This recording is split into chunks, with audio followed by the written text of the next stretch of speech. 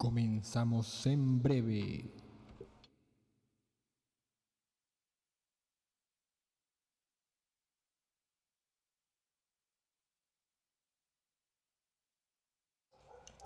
Bienvenidos cannabináticos a otra emisión de El Ayuno donde estamos a punto de iniciar la semana con la última información disponible en torno a la regulación del cannabis.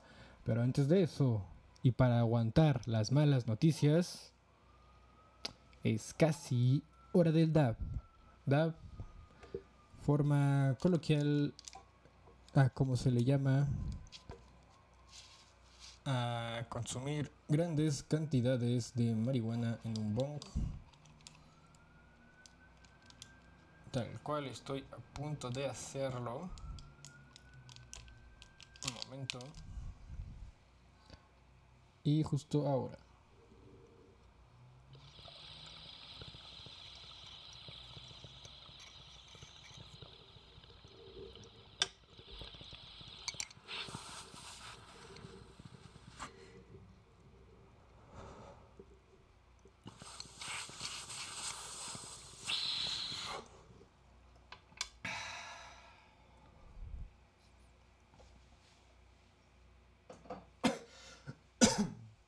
Ahora un traguito de agua.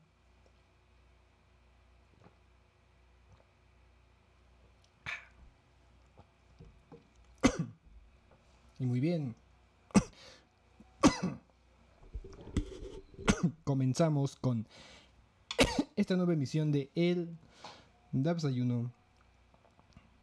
Eh, primero que nada, eliminando ese texto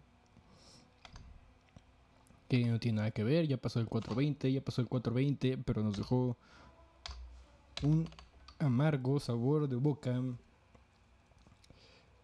Em, ¿Cómo llamaremos, cómo llamaremos a esta emisión? El Senado incumple regulación. Vamos a llamarle así.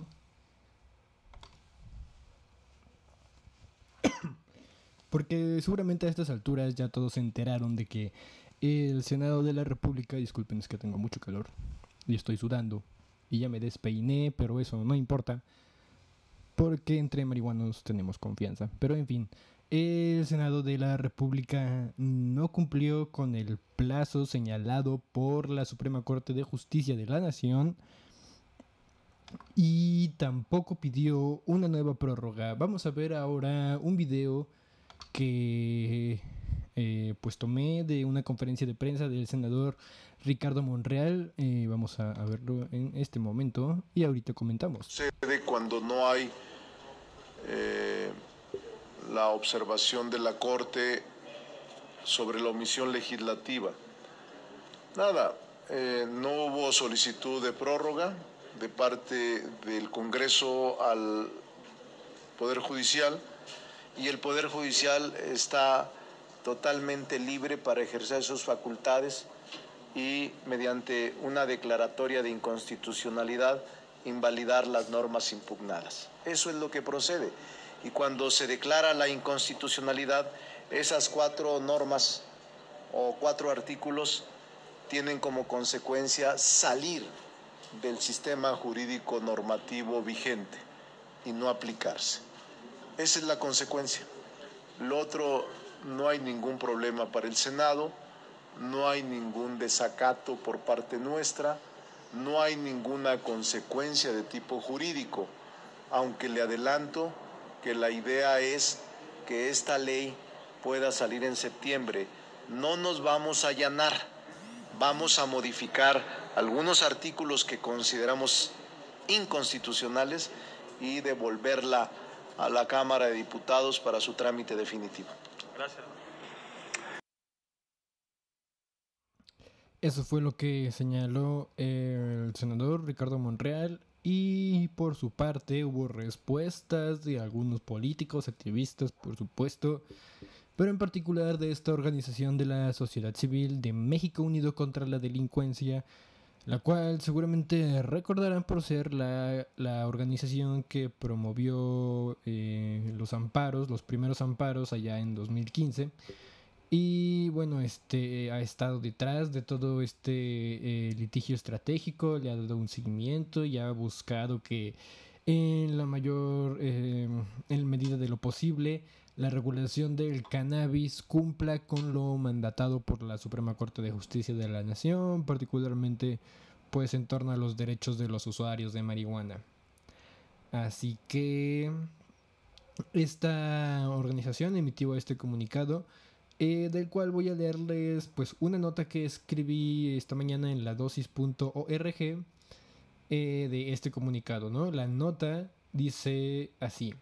A pesar de existir el mandato constitucional para que el Congreso de la Unión regule el uso personal de cannabis en México antes del 30 de abril pasado, el Senado afirmó que no pudo llegar a un consenso y decidió discutir los cambios al dictamen enviado el 14 de marzo por la Cámara de Diputados hasta después de las elecciones, aseguró México Unido contra la Delincuencia en un comunicado.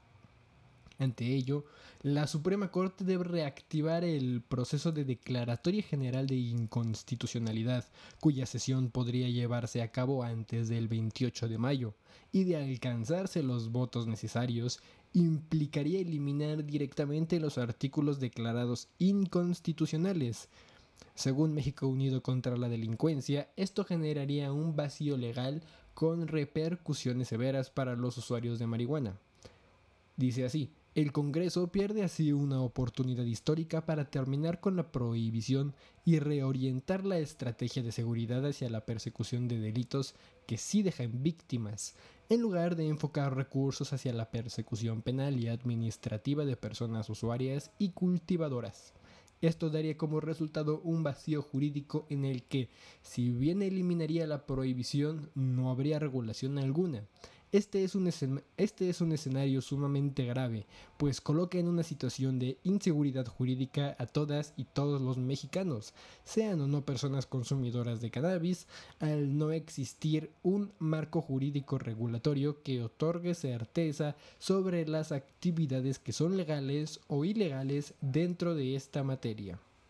También apuntaron a las deficiencias que se han presentado en los procesos en el proceso legislativo desde hace dos años, particularmente en torno al reconocimiento de los derechos de los usuarios de marihuana.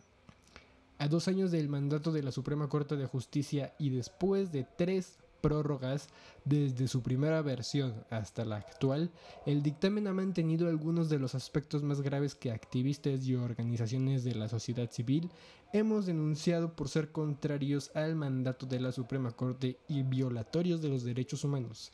El dictamen no cumple cabalmente con, lo, con la orden de la Corte de eliminar la prohibición administrativa del cannabis al no quitar el THC con más de 1% de concentración del sistema de prohibición absoluta, sobre regular prácticas cotidianas de las personas consumidoras en detrimento de su libre desarrollo de la personalidad y mantiene la criminalización y penalización de personas usuarias y campesinas al no eliminar el delito de posesión simple y el delito de cultivo. Por último, enfatiza en la necesidad de que el Congreso regule el cannabis en un periodo extraordinario para que no se incurra en la Declaratoria General de Inconstitucionalidad. La regulación del cannabis no puede posponerse más. Urgimos que el Pleno de la Comisión Permanente del Congreso de la Unión convoque a una sesión extraordinaria y emita una regulación que cumpla con las exigencias de justicia social y no criminalización es su responsabilidad evitar un posible vacío legal a raíz de la Declaratoria General de Inconstitucionalidad por parte de la Suprema Corte de Justicia de la Nación. Y eso, eso es lo que ocurre cuando pues en el Senado hacen todo lo posible para no regular el uso de cannabis. Eh, eh, no me sorprende a mí que el Senado no haya hecho nada. Lo que sí me sorprende es que no hayan solicitado en esta ocasión la Declaratoria General de Inconstitucionalidad. Es algo que pues eh, no, no es que hayamos predicho aquí, pero ya habíamos contemplado que era una posibilidad, por lo menos por lo que ya habían anticipado los senadores Monreal y este, el, el presidente de la mesa directiva, que no me acuerdo de cómo se llama. Pero bueno, este ahora nos, nos enfrentamos a ante este nuevo escenario en el que la Suprema Corte de Justicia puede eh, eliminar los artículos, los artículos que prohíben que tú como persona cultives marihuana para ti misma y qué es lo que dijo que es inconstitucional. Bueno, esos artículos puede que se eliminen, eh, pero puede que no. Y, y aún, aún, aún, aún falta ver qué termina por ocurrir con el destino de, los derechos de nosotros, de nosotras también, las, los usuarios de marihuana. Y pues sí, entonces eh, eh, eh, eso ocurre y del otro lado pues ya, ya se ve la respuesta activista y me refiero a que ya viene la marcha 21 del Día Mundial por la Liberación de la Marihuana. Eh, en un momento les doy los datos. Esta marcha eh, se llevará a cabo el sábado 9 de mayo. El punto de reunión es en la Suprema Corte de Justicia a un costado del Zócalo. Ahí, en, ahí está la sede de la Suprema Corte de Justicia. Y eh, la cita es alrededor de las 12, 2, 2.30 me parece. Y pues obviamente la idea es que se parta, que se comience a marchar alrededor de las 4.20. Y pues la ruta es caminar sobre, sobre, mm, mm, mm, ahorita les digo, sobre 5 de mayo, luego por eje central, luego por Avenida Juárez, luego por Reforma y llegar finalmente al Ángel de la Independencia. Eh, algunos, algunos tips, algunos este, datos importantes. Si tú piensas asistir, por favor lleva cubrebocas y evita compartir el uso de parafernalia o compartir el porro o incluso compartir una botella de agua. Intentemos mantener las medidas de sana distancia lo mejor posibles. Y pues fuera de eso, recuerda también que es una recomendación general no portar más de los 5 gramos que supuestamente podemos portar sin que seamos considerados narcomenudistas. Y ya, si van, si van a asistir, si tienen la oportunidad de asistir a este evento de activismo, pues muy bien, muchas gracias. Ahorita vamos a revisar un poco de la historia de la marihuana, pero si no tienes oportunidad de asistir, porque pues debes aún mantener una estricta sana distancia y un confinamiento más estricto, o, simplemente no puedes ir porque trabajas o cualquier cosa, pues no importa, con que puedas apoyar desde redes sociales y mostrar un poco del cariño hacia el activismo, está, está muy bien. Y como les decía, esta marcha tiene sus orígenes, o más bien no les decía, pero vamos a, verlo ahorita. Esta marcha tiene sus orígenes en Nueva York. Creo que sí. Bueno, vamos a ver ahorita algunos carteles de la marcha a través del tiempo. ¿Por qué? Porque están bonitos, están interesantes. Por ejemplo, vemos que este es del 2010. Ese es del 2009, el cual también es muy parecido a otro cartel de la Marcha de México de hace algunos años. También vamos a verlo en un momento. Ese me parece que tiene, tiene que ver con algo de la paz. Creo que en ese día había también alguna conmemoración en torno a la paz y por eso está así ese, cartel. Y bueno, ese tiene más motivos de inspiración, el cambio de milenio y pues tal vez la exploración espacial que eh, estaba muy en boga y pues a la gente le parece también muy muy interesante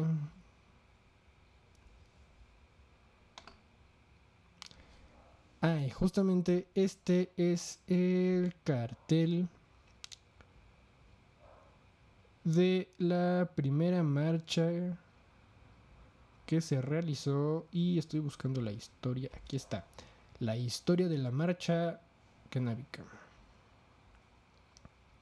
Fue en 1999, como pueden ver en este póster, cuando se reunieron por primera vez activistas canábicos alrededor de todo el mundo para exigir el fin de la prohibición. Desde entonces la fecha escogida es el primer sábado de mayo. Sin embargo, en esta ocasión, en 2021, se decidió recorrer la fecha para no interferir con las protestas o demás conmemoraciones de la de voy a hacer esto un poquito más grande del primero de mayo que es también el día del trabajo eh, en aquel entonces en 1999 en la primera ocasión que se realizó la marcha participaron 30 ciudades el diario Village Voice de Nueva York citó a Dana Bell, uno de los organizadores, aclarando que el principal objetivo de la marcha era reparar la reputación de la planta. Y aquí hay una cita, una cita textual. La gente cree que se trata de legalizar la mota. No es así. Se trata de separarla de las drogas duras. El 86% de los pachecos no usan ninguna otra droga. La mayoría cree que la marihuana es diferente. Tal vez han probado otras drogas, pero no les gustan. Por otra parte, la marcha por la liberación de la marihuana se realiza en nuestro país desde 2001.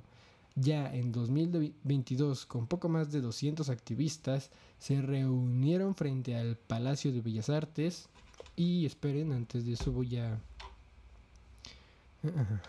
cambiar a otra imagen más apropiada. Ahí está. Esta es una foto de ese día. Y es una foto que tomé del periódico La Jornada. Y La Jornada también dice lo siguiente.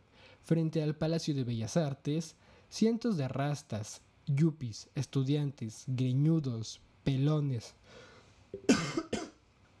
obreros, publicistas, periodistas, padres de familia, llamas de casa y sus pequeños embrazos. Ay, una disculpa, voy a tomar un poco más de agua.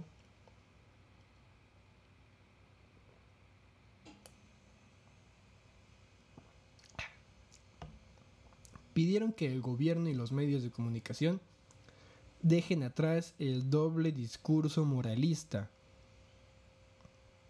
Y sí, desde entonces los principales consignas exigen información responsable de drogas, libre aprovechamiento de los usos medicinales de la planta y respeto a los derechos de los usuarios.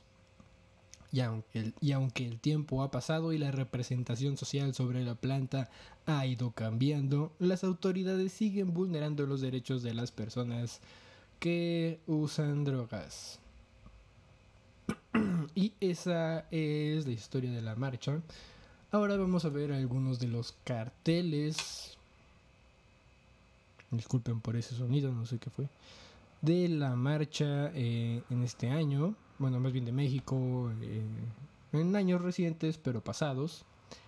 Mientras los invito a reflexionar, ¿cuál debería ser el objetivo del activismo ahora?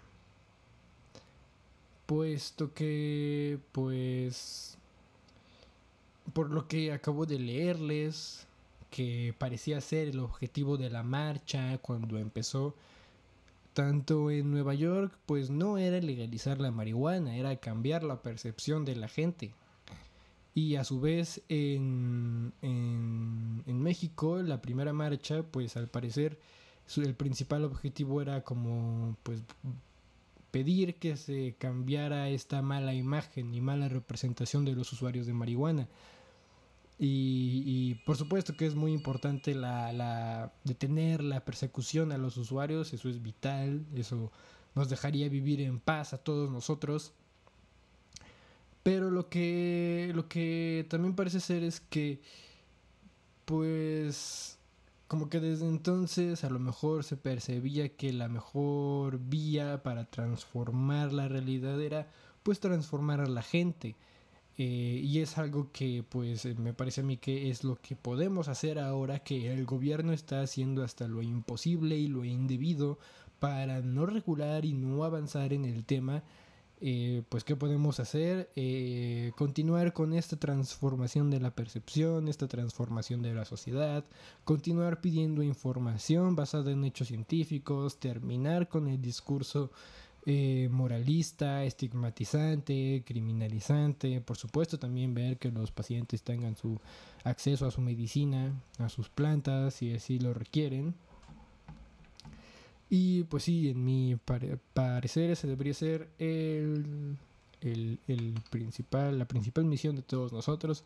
Esta de aquí es la, la, imagen que les comenté hace rato, que se parecía también a la, a la otra.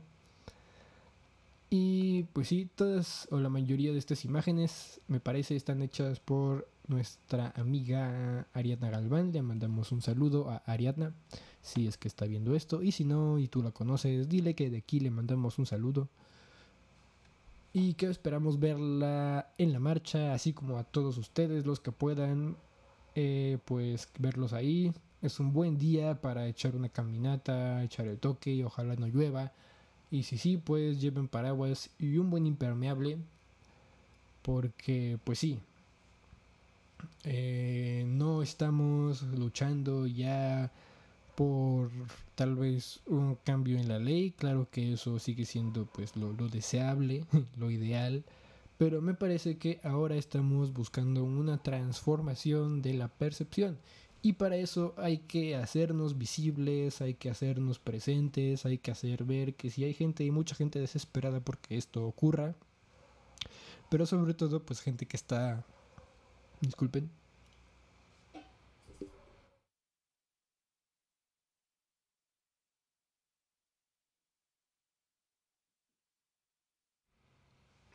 Que también hay mucha gente que está lista para ejercer sus derechos a como dé lugar. Así que, pues, si van a ir, coméntenos. Si nos ven, si me ven, saludan.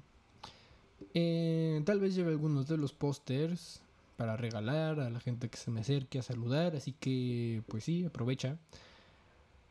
Y pues nada, eh, espero que, que tengan buena semana y nos vemos en la próxima emisión de El Ayuno. Hasta luego.